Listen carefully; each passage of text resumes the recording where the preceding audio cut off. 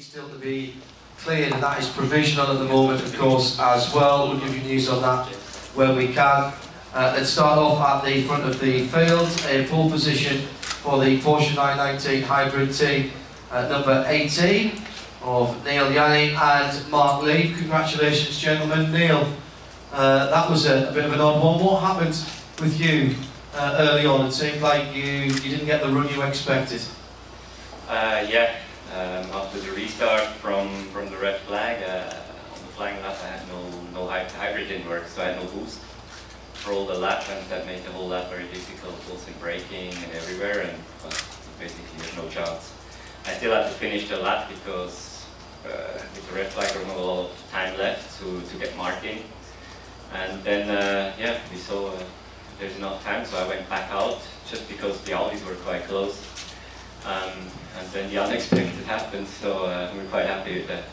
Two sets of tyres that you used, or just the one? No, I reused my used one. Right, So okay. uh, I used my old set from the first round with the red flag, so that's why we say the unexpected happened.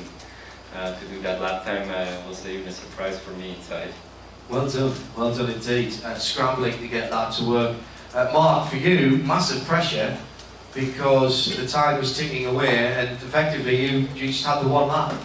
Yeah, I mean, it was clear that Neel had to go back in the car, but it was also, I mean, it's just a very tight time management in these, uh, you know, in these 20, 25 minutes. It's uh, very difficult, and uh, yeah, I did my lap uh, wasn't ideal. The last sector, I had some uh, some issues. Otherwise, I was was quite happy, and then I had to push in quite hard for the for the in lap to get back quickly to the pits, and then Mr. Jani did an awesome job, and so we are we are happy with, with that. It's a little bit surprised, of course, and uh, of course uh, the other car was a bit unlucky as well. But uh, I mean, we had the luck today. we were struggling a bit in free practice, so we, we take that. Yeah, everybody, uh, everybody today seemed to struggle early part of the week as well, struggle to get a balance on the car. You're down to just six sets of tyres, of course, for this from eight that you had at the Nürburgring. Is that going to be an issue? The, the Porsche has had some some issues trying to double stint tyres in the race in the past in the first part of the season? I don't think so. I think we uh, we worked on that. We improved that as well with the new aero package. It's got a lot, it got a lot better. Um, I think it's a question mark if you can do double stints here with the temperature and the heat. Uh, the driver and tires, it's uh, yeah, it's not going to be easy, but uh, for sure somebody will try it. So we will see how it is in the race. But we are confident, and uh, it doesn't look like we do so many stints in that race. So we're quite uh, they're quite happy with the performance of the car and uh, we will have a good race car as well. Well done, kept us entertained. Thank you very much indeed. Let's move on to Rebellion. Guys, congratulations. Uh, fantastic run for Nick Heidfeld and Mathias Beche. Racing, I know, the whole team with heavy hearts this weekend. We, uh, we think of you all. Tell us, however, about the qualifying session. Qualifying, session was quite difficult. Luckily, we finished uh, in the front, but uh, had a couple of problems. Um, my, my first lap after the red flag on not new tires seemed quite good and then in the middle of the straight there was an engine issue. It um, went into a safety mode so I had to abort this lap and also after that it didn't run clean anymore and the tires were going away so I was quite disappointed and not happy with, with the lap uh, at all so in the end happy to, to at least be, be ahead of the other privateers. Uh, and Mathias, your stint with the car, did you uh, have the, the same issue? Has it cleared itself up? Yes, I tried to, um, to change some, some settings, but uh, yeah, we have to, to look at it more clearly. And I just gone one lap basically, and um, yeah, the tires, the front were not there, so a bit disappointing as well on the balance. We have to analyze if we can and see how it is tomorrow. Uh, good luck for tomorrow. Thanks, guys. Uh, KCMG, just joined us. Hi guys. Uh, we talked about the uh, front of the field giving us a bit of drama. You two uh, as well. Matt, what's, uh, what happened? Went out the pits and then uh, nothing. Yeah, just uh, it, it, went and then it didn't go. So uh, it happened just on the uphill to turn one as well. So if it had happened in the pit lane, it probably would have been much easier.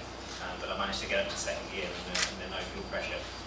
They, they pulled you around the circuit and off the circuit. Um, presumably you were still in in contact with the team. So I didn't see you come back in the pitch, correct me if I'm wrong. Did you get it going out on the far side of the circuit and rejoin from there? Did you come back through the infield? No, I came back through the infield, so uh, yeah, they, they overestimated the amount of steering lock I had, so they nearly had a crash on the way back to the, the pits.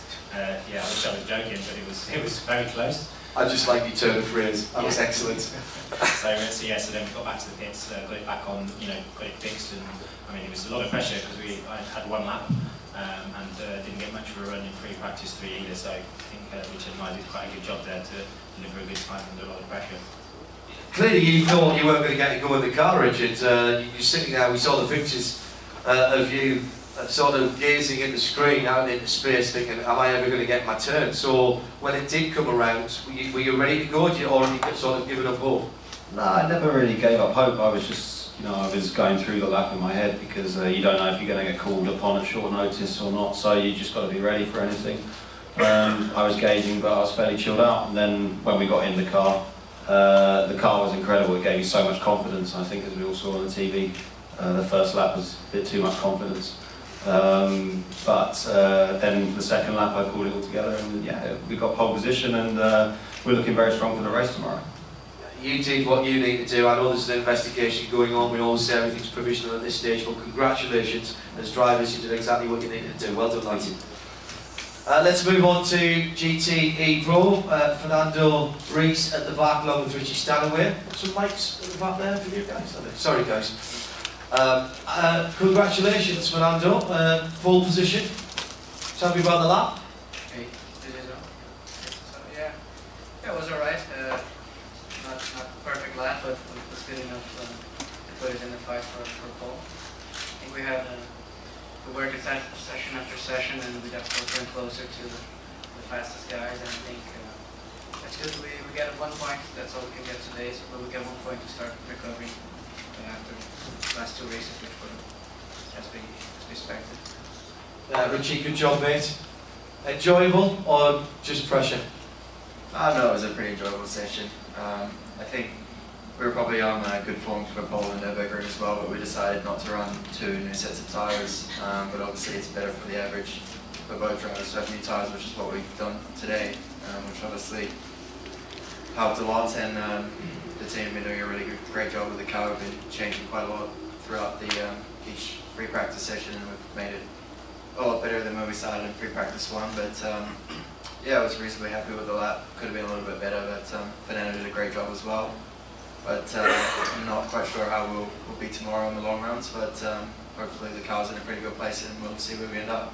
Now you have to change tactics. Anybody with a roof on tomorrow is going to suffer. So already have you spoken about potentially having to change tactics because of the, the warm weather tomorrow?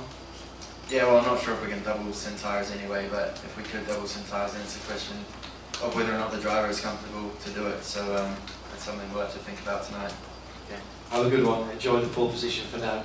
Last but by no means least, congratulations to Dempsey Proton for your first pole position. You didn't enjoy that at all, Mr. Dempsey, did you? You were on camera all the time. Well, I enjoy it now. Certainly not prior to qualifying. You know, I think this track, is incredibly challenging, and certainly the temperature. You know, um, but yeah, it's very satisfying to get our first pole here in, in the states, and, and, and certainly in this series in this category. Uh, you know, I've had such tremendous support from uh, Porsche and all the drivers and everybody involved this year to, to get a lot of seat time. And certainly fortunate to be next to uh, Patrick Long and, and Marco. You know, uh, a, tremendous honor and a pleasure to be up here and amongst all these drivers in, in this series. It's, it feels really nice. And it, apparently it's all down to the new low drag haircut, is that right? yeah, I've taken off about a tenth uh, with my short hair, and I've cut down on the amount of product that I'm using. So I think that's, uh, it's a little tricky in the morning, but uh, you know, I'm getting out of the room a little faster.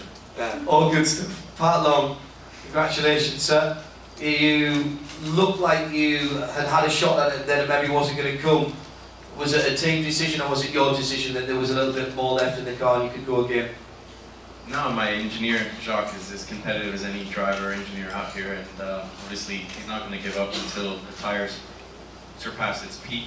Um, he was yelling in my ear to just keep digging, and uh, we were able to pull it out on the final lap there. Um, we knew we had a car since the onset of the weekend. We came out yesterday pretty strong, and then we had an unfortunate uh, bit of contact this morning with an LMP2 car, so I didn't get into the car. I didn't really know what I had, but um, you know, don't let Patrick sell himself short. At Nürburgring, we had the fastest lap in the class. Uh, we started P2 on average, and the differentiator was him working hard between Nürburgring and here. So our kind of dream season continues after Le Mans, and then we'll just keep pushing, and it's a long race tomorrow. Do you dare think, Patrick and Patrick, about the top step of the podium, or is you just take what comes tomorrow and, and react to what happens? Patrick? Nah, you just hit your marks. Um, there's a lot of things in the race that are going to be outside of your control, and uh, we, we know we have a good car, a reliable car, and a quick car based on today. Um, team behind us is pretty solid, so uh, just hit our marks and see where we end up.